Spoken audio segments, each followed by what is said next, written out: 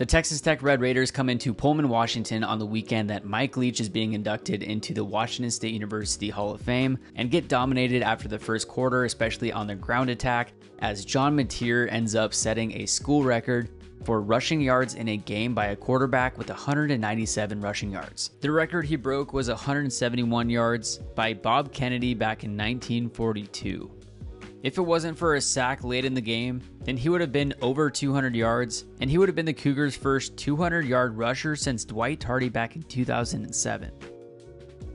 The Cougs beat the Red Raiders 37 16 and will now prep for the early season Apple Cup next week in Seattle.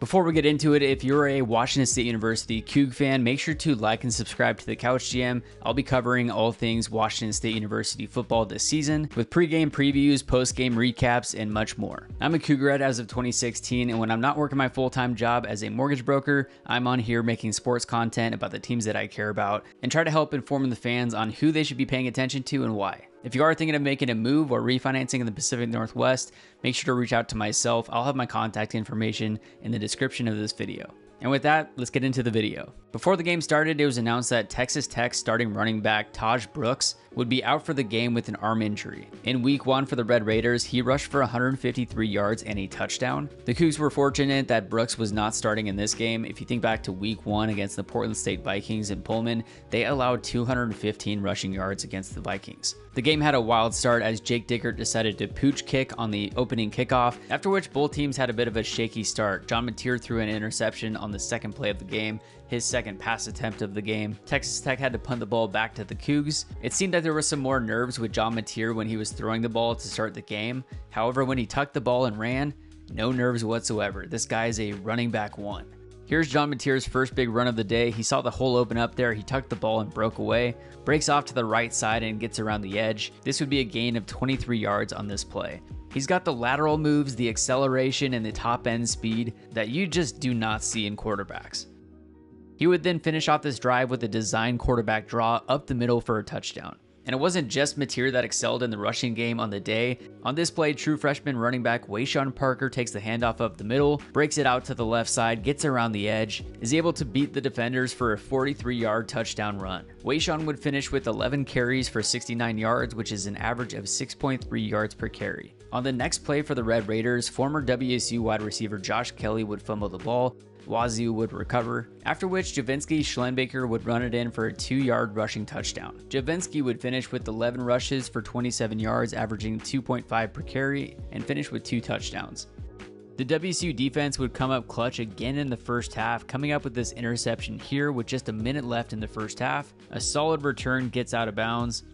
There was also a couple injury scares. Kyle Williams would be hit. I count about four guys that are all putting pressure on that shoulder. He would have to go to the locker room. Eventually, he would come back out.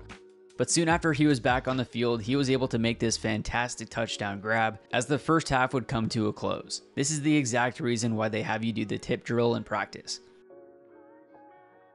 The rest of the game was largely dominated by the Cougs with a few exceptions. But the Red Raiders were one of five on fourth down conversions. They threw two interceptions, lost two fumbles, were able to pass for 343 yards in the air, rush for 148, but the Washington State defense and the rushing game was really the difference on the day. The Cougs only passed for 115 yards, which will definitely need to change moving forward, but having a strong rushing game like this is a big key, and something that Washington State has lacked in prior years.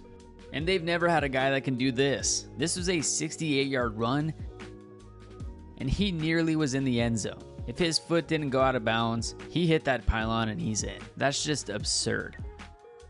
And here's what John had to say about that run. No, I haven't seen it right, but I like scoring, obviously, right? And I motioned him out and I saw a good box. I seen the hole and I was like, oh, I better get out of here. You know, I better start running. And then I, I start running for about 30 yards. And then my legs get kind of heavy and I'm like, oh, they're going to catch me. And I'm going to get made fun of if they catch me. So I can't have them just talk me down, you know. The Cougs were far and away the better team in this game, and they absolutely deserve a spot in one of these power conferences, whether it's the Big 12, the Big 10. And here's what Dickert had to say about this game and where they're at compared to their peers. Feels great. Feels great for that locker room, for all the work that I've seen. These guys staying here, being committed to this program. But this is not a statement win. Washington State has played at the highest level forever. We beat another team that plays at the highest level. That's it. We've done that hundreds of times. Okay, that's the way we look at it. That's the, what we're excited about. When we came in to get one and zero, oh, we knew we had to play a certain way, and we went out there and did it. That's what I'm the most proud of. So you know, I don't want to get into you know, it was bigger than what it was. We took down a Power 5 team and we're a Power 5 team. Be on the lookout for our preview of the Apple Cup that likely will be available by Monday. But in the meantime, please comment your thoughts and opinions on this game. Make sure to like and subscribe. Go Cougs, and we'll see you next time.